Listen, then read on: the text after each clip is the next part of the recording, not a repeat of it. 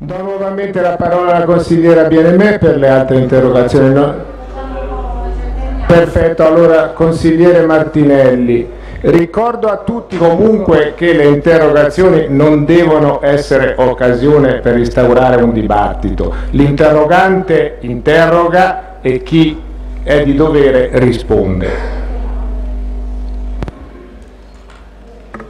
Allora, intanto ho sentito parlare di un'amministrazione campione di trasparenza. Bene signori, questa è la risposta che è stata data a un'interrogazione del 2 luglio 2013. Un anno e mezzo fa si era chiesto all'amministrazione conto di euro 52.516 spesi per pubblicità di Marble Week. La risposta è arrivata eh, l'11 maggio. Mm? Ci sono voluti un anno e mezzo per fare un foglio Excel di 20 pagine. Complimenti, 20 righe, scusate, complimenti alla trasparenza e soprattutto alla tempestività. Poi era stata fatta un'altra interrogazione sulle nomine nelle partecipate del, del luglio 2014 il sindaco ha risposto nel febbraio 2015, su qualche mese dopo, insomma stiamo, stiamo migliorando. Eh, nella nell'interrogazione si chiede, almeno apparentemente, nell'interrogazione si chiedeva un elenco puntuale di tutti i rappresentanti del comune in carica, la data di incarico, l'ento, la società partecipata in cui sono stati nominati il ruolo che ricoprono come primo punto e a questo effettivamente l'amministrazione risponde che è stato predisposto nel sito internet un apposito spazio in cui effettivamente questi soggetti sono elencati. Poi si chiedeva, e qua vengono le dolenti note, Copia della documentazione prevista dall'articolo 7 del regolamento comunale per ciascuno dei designati. L'articolo 7 del regolamento comunale prevede che coloro che vengono nominati o designati devono far pervenire al sindaco una dichiarazione di cui si chiedeva copia di accettazione della nomina e di, in cui si attestava l'inesistenza di situazioni di incompatibilità o di conflitto di interesse o di caso di esclusione di cui al precedente articolo 3 di cui parleremo dopo e la situazione patrimoniale reddituale che effettivamente quella è pubblicata sul sito delle partecipate. Copia della documentazione di cui all'articolo 7 io non ne ho ancora vista. Questa sarà trasparenza, boh, per il tempo voi. Poi si chiedeva, e qua in effetti la domanda, la domanda era maliziosa, verifica puntuale motivata in forma scritta del sussistere dei requisiti di quell'articolo 2 il rispetto dei limiti di cui all'articolo 4 del regolamento comunale e rispetto di quanto previsto dal decreto legislativo 39 del 2013. Che cosa ci dice l'articolo 2? Ci dice quali sono i requisiti soggettivi dei candidati. Di questo ovviamente non abbiamo avuto traccia, non abbiamo avuto nemmeno traccia dei limiti di cui all'articolo 4. L'articolo 4 ci dice che non può essere nominato alcun designato contemporaneamente in più enti. Voi che siete bravi, avete mica notizie di professionisti nominati in più società partecipate? No, mai, mai.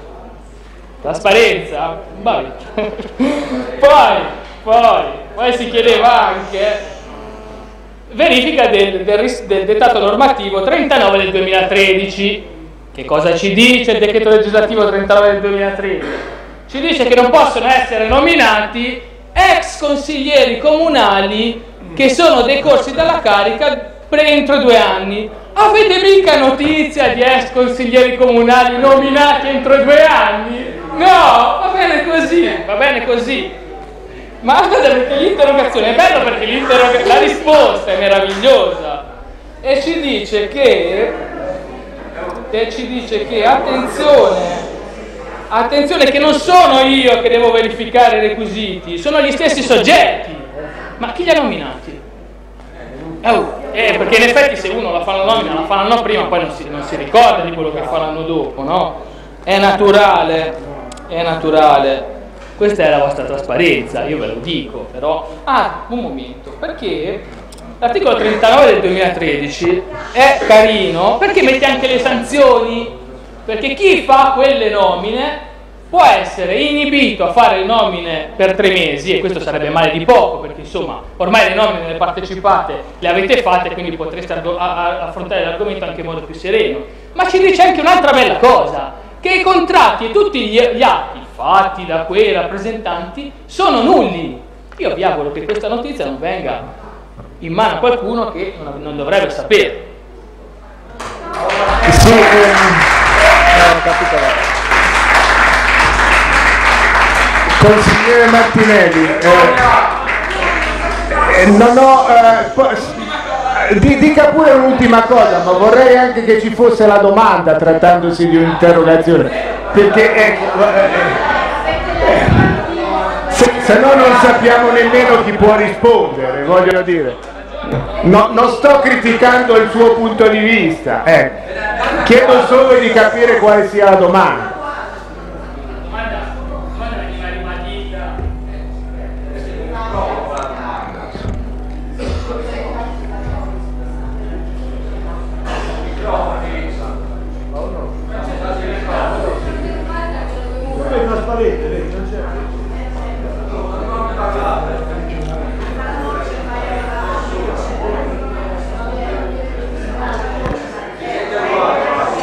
Allora, eh no, ha, ragio- ha ragione, però eh, era, erano interrogazioni che erano state fatte, voglio dire, se queste sono il, il Presidente del Consiglio prima aveva detto, ah, l'amministrazione sta rispondendo, eh, se queste sono le risposte.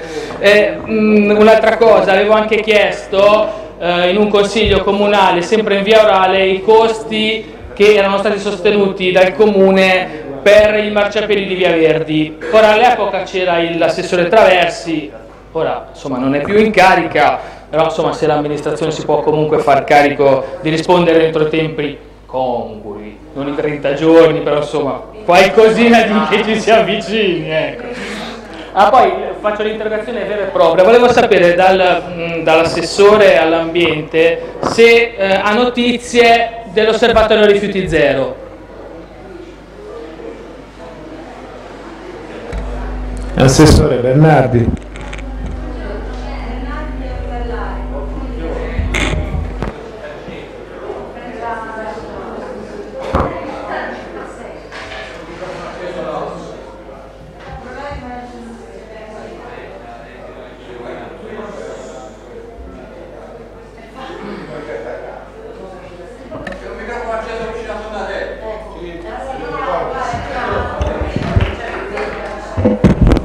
Molto brevemente perché non ho notizie sul, sul rifiuti zero, quindi però vi devo far preparare una relazione dall'ufficio ambiente eh, e quindi che poi darò anche ai membri della commissione perché è, una, uh, insomma, è da diverso tempo che si discute di questa cosa, quindi dove il comune ha già aderito e quindi è una cosa che ci teniamo, però ultimamente non abbiamo ancora avuto notizie in merito all'argomento.